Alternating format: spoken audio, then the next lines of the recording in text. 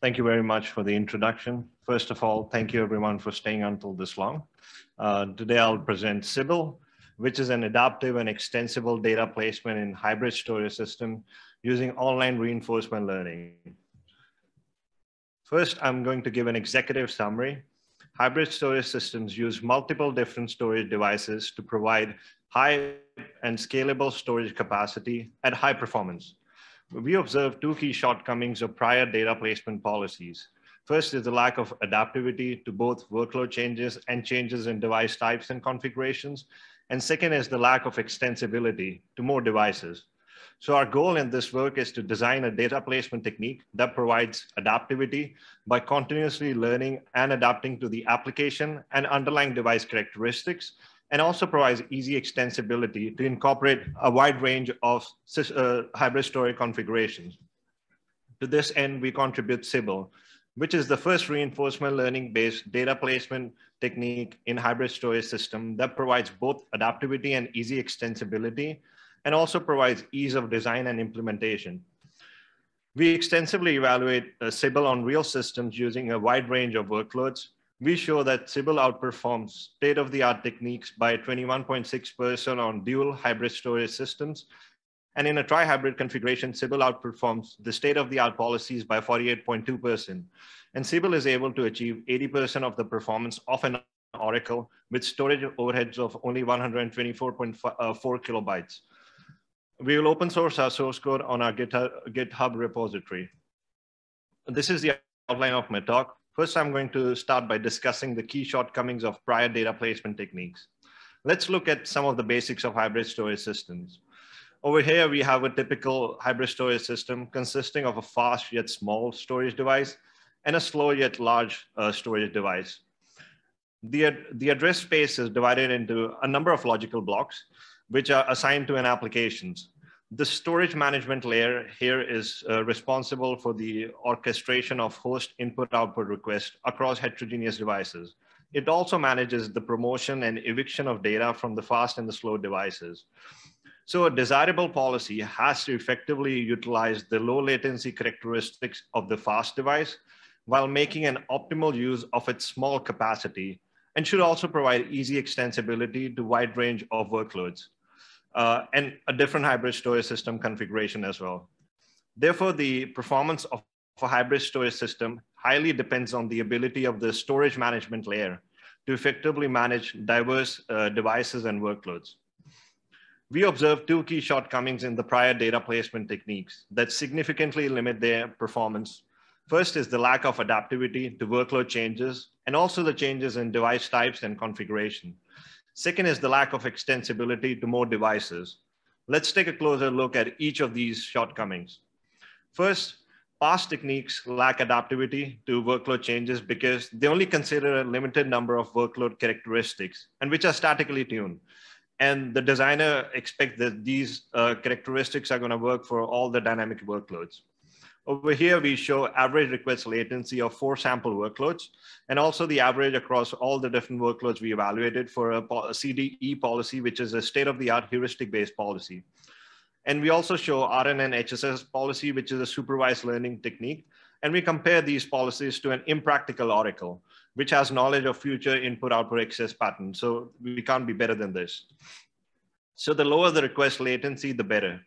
We observe that like all the baseline policies provide some reasonable performance under specific workloads, while for other, they show way lower performance than Oracle. And on average, we observe a performance loss for some policy by 41.1% compared to an Oracle. We conclude that considering only a limited number of workload characteristics leads to a significant performance gap.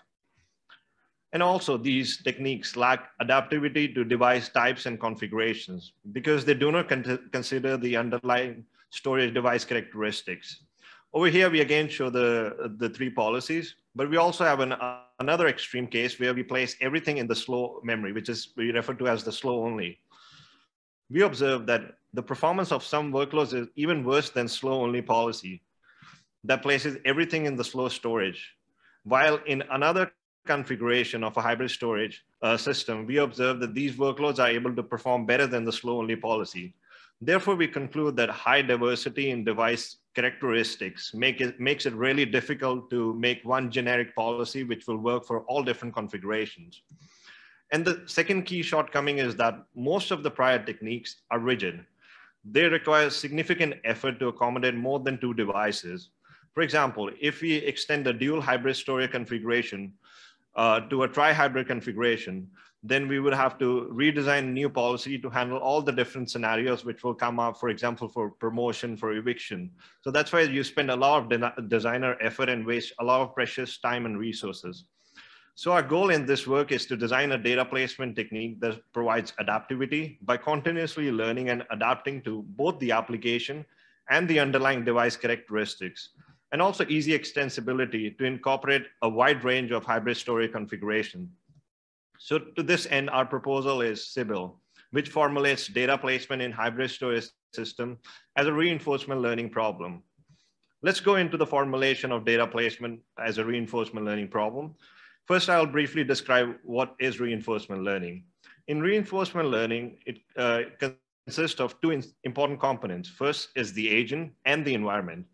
The agent observes the state of the environment, and in every time step, it takes an action based on the state. And for every action, it re receives a numerical reward, uh, which is kind of a feedback from the environment to tell how the agent is performing. The agent's goal is to find a policy uh, where agent's action in a given state leads to the maximization of the reward, and which eventually becomes the agent's policy. So if you look at the formulation of data placement as a reinforcement learning problem, we have the agent, which is Sibyl, and it's observing the environment, which in our case is the hybrid storage system. And the agent for every storage request looks at the feature of the current request and also the system condition. And based on these state, it takes an action. In our case, the action is to where to place the current request. And then the, the hybrid storage system provides a feedback to evaluate the effectiveness of the data placement decision. And now we will con uh, concretely define the state action and the reward for Sibyl. First for the state. We use limited number of state features after performing feature selection. First of all, to reduce the implementation overhead. And secondly, we observe that RL agent is more sensitive towards the reward. So therefore, like adding more states doesn't really help. And therefore, we choose a six dimensional vector of state features, which has, for example, the size of request, the type of request, etc. And we also quantize the state representation into small bins to reduce the state overhead because you will need like a bigger um, uh, state vector for that. Uh, and then we define the reward. The reward is the objective of Sibyl. Though Sibyl can learn from any different sort of reward, but in this paper, we formulate the reward as a function of the request latency. And this in our reward encapsulates three important uh, aspects. First is the internal state of the device. For example, the read-write latency, uh, whether there's garbage collection or queuing delays. And also it encapsulates the throughput as well. And if, if, amount of evictions that are happening from the slow device. We provide more details on each of these aspects in the paper. For the action, we define the action as the selection of a storage device to place the current page. Such an action allows us to easily extend uh, our, uh, our framework to any number of storage devices. And also we observe that it makes Sibyl learn to proactively evict or promote a page from the fastest storage device. We now provide a brief overview and design of Sibyl. First, we discuss the execution model for Sibyl. We implement Sibyl in the host OS, where for every storage request, Sibyl uses an RL decision thread to make data placement decisions. Sibyl uses another thread, which is called the RL training thread, which runs in the background. It keeps collecting information about the Sibyl state action and reward, which it uses to train a data placement policy in the background. And periodically, we replace the RL decision thread policy with the RL training uh, thread policy. Our two-threaded implementation allows us to run async. Uh, we run it asynchronously, which avoids the, the training in the RL training thread uh, interrupts or delays the data placement decisions for the incoming request. Now we'll go into the implementation of each of the thread. First, we discuss the RL decision thread. As I mentioned before, where Sibyl decides the data placement of the current storage request, uh, and also it keeps collecting information about its decisions. For every new storage request to the hybrid storage system, Sibyl uses the state information to make a data placement action. We have an inference network that predicts the expected benefits of each of the given state. And then the Sibyl policy selects the action with the highest expected benefit or a random action for exploration of the hybrid storage system so that we do a trade-off between exploration and exploitation. While making the data placement decision, Sibyl collects the information about the states, action, and rewards in an experience buffer, which is used in the RL training thread. In the RL training thread, Sibyl uses these collected experiences to update its decision-making policy online by training a separate neural network. Therefore, Sibyl continuously learns from its past decisions and their impact and their actions. To enable the parallel execution of these two threads, we duplicate the neural network that is used to make the data placement decision. So the inference network does not have a tra separate training step, and we only transfer the weights from the training network periodically to the inference network, which allows us to uh, keep the data placement out of the critical path. We now present some of our key results.